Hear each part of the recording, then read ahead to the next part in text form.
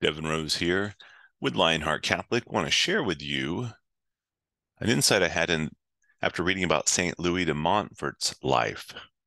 Saint Louis de Montfort was a French priest, late 1600s, um, early 1700s, and he re-evangelized the people of Brittany and the Vendée region in France.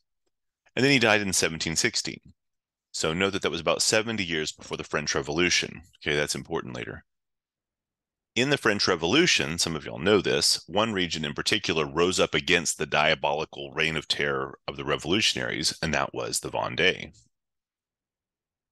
Um, and that's because uh, St. Louis de Montfort's work among them had, by God's grace, really um, steeled their resolve and conviction to fight against the bloodthirsty revolutionaries, even though they had most of them no combat experience, martial training. They had a strong faith in Christ, dedication to his church. They were appalled at the godless brutality of the revolution, the destruction of their churches. The faithful priests who would not take the heretical oath had been um, ousted, and they said no more. I mean, if you want a great book and as an adult to read, uh, volume five of Dr. Warren Carroll's History of Christendom is all about the French Revolution. I'm reading it right now. I've read the previous four books, which is a whole sweeping history of uh, really humanity. It's excellent.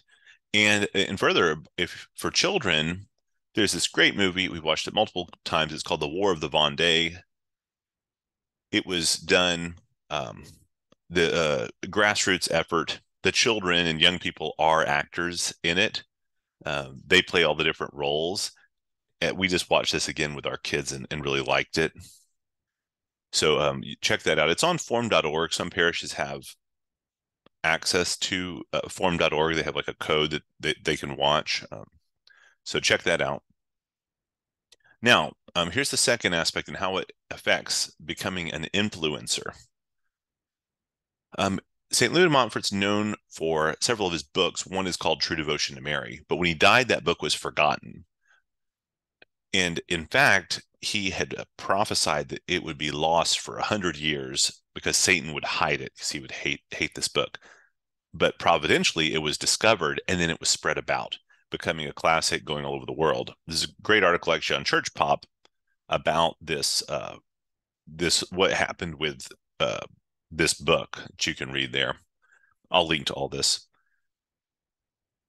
Well, so you know, we can say then that um, you know Saint Louis de Montfort was an influencer, but instead of trying to be an influencer, as so many people today try to be, he was simply faithful to what God called him to do in his life.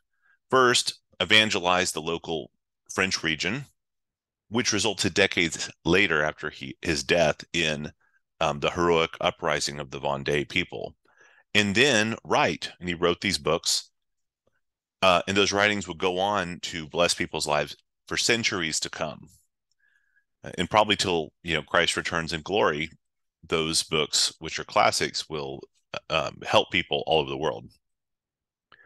So, what's the takeaway? Um, the takeaway for me is let God make you an influencer in His time and in His way. Um, that doesn't mean you hide in a corner, but rather be faithful to what he calls you to do. Do it and then leave the results in his hand. Right? Whatever that that might be, he can make you an eternal success. And whether anyone else ever knows that or not, it's up to him, right? That's what St. Louis de Montfort did uh, in his effect that he had on the world was you know incredible was outsized um, and we see that with a lot of the saints. When they um, are are doing what our lord wants right? When people do that they become saints and then um, god makes their impact even stronger. All right so st louis de montfort pray for us. This is devin rose lionheart catholic. God bless